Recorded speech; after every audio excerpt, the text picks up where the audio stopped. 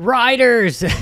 so I made a video this morning because we had some new information from Dylan Ferrandis on the whole Barcia disqualification deal. And, you know, Barcia released the GoPro footage, which it's ironic that GoPro footage, it, it really never gets released because it's owned by, you know, GoPro. So some of it goes missing, wink, wink, you know, but it was released, right? So therefore, when you have more information, you need to have the ability to change your view.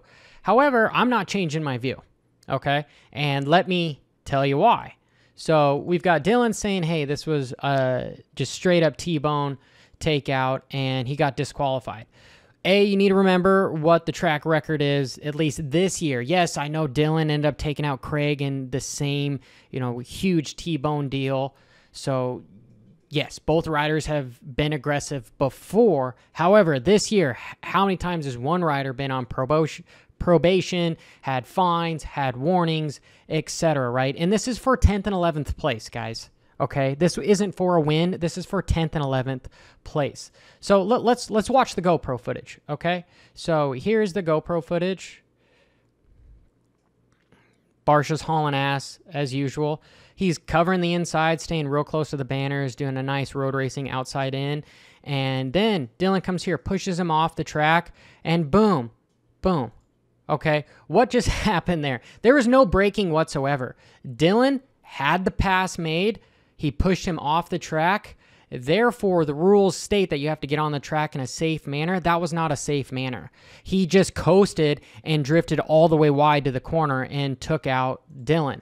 There was no effort whatsoever made to slow down right? Again, I believe that is coming from a rider that has gotten away with murder. It's better to ask for forgiveness than permission. And yes, if you look at the GoPro footage, it looks like, hey, he had the line, he had the pass made. He was pushed off the track. He should have been slowing down to make the corner.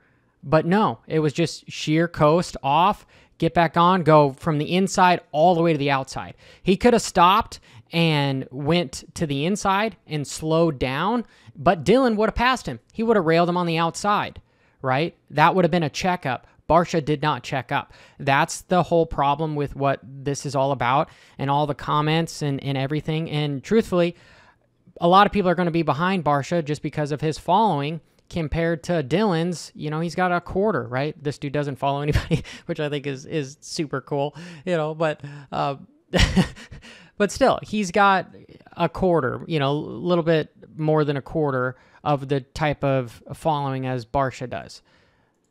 Okay, in review here, my opinion is they did the right thing.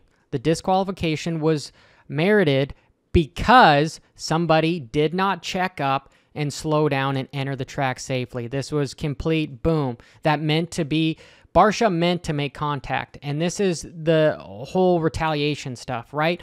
Regardless, these guys had an encounter on the track beforehand, right?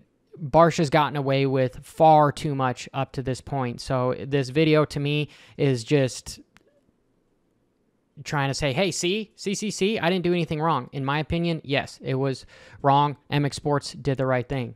Bro!